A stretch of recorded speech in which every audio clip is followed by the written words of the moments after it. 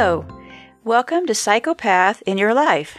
This is episode number 35, and I'm your host, Dianne Emerson. I'm the author of the book Psychopaths in Our Lives My Interviews, which is available on Amazon and iBooks. Amazon is the only location you can get the paperback copy. So today I'd like to continue our chat, which begins with episode 33, and I'm calling it Love and Psychopaths. And I really thank you a lot for your emails because I get a lot of emails, and what I'm trying to do is focus in on the ones that have the widest group of questions and people to start to try to answer some of these questions now.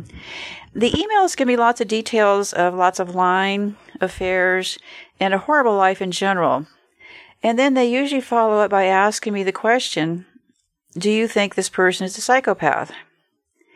Well, I'm really not in a position to either confirm or deny your suspicions. I would have to say there must be a reason in your own mind how you got to the is this person a psychopath question. Was it a small voice that is pointing you in this direction? I have to assume you've ruled out garden variety jerks. We're talking about a whole different characteristic here. I remember reading years ago, this private detective was talking about when they were called upon to um, tail or snoop up on a spouse that um, the the spouse that hired the detective thought was having an affair, and they said that usually 99.9% of the time they were just hired to confirm the suspicions of the partner. See, inside we all know a lot a lot of these answers, but are we listening? And it's a great thing to question what is going on in your life and the people involved. I can say it will be difficult once you start asking those questions. Please try to remind yourself during this process that you aren't to blame for the situation. Understanding the how and why a relationship with a psychopath is formed can also help you in the future to avoid the next one in your path.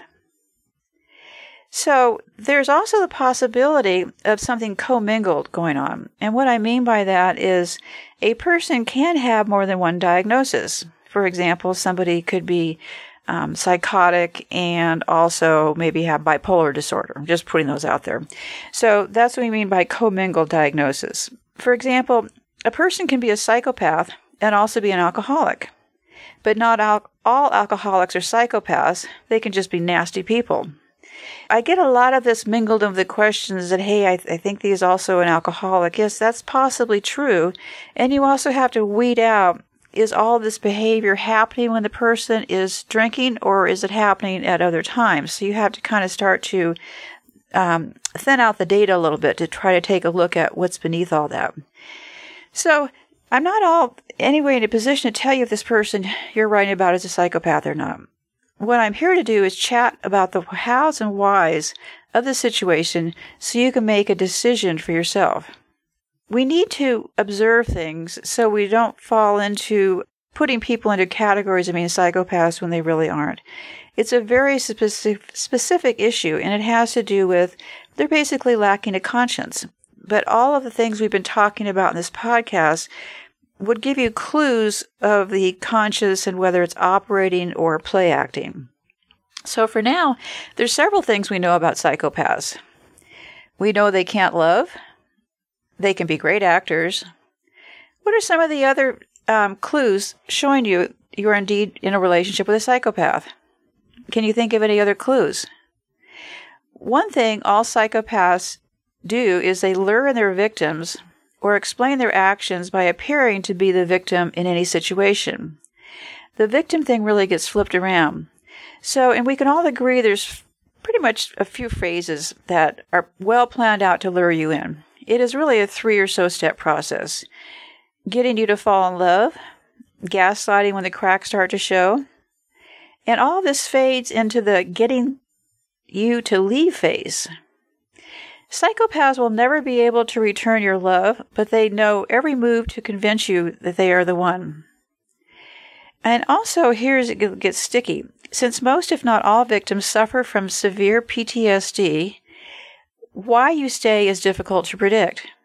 It is hard to comprehend the pain when you get to the point something is telling you the person you love is a psychopath. I can only imagine the first reaction is to reject that voice that told you it was true.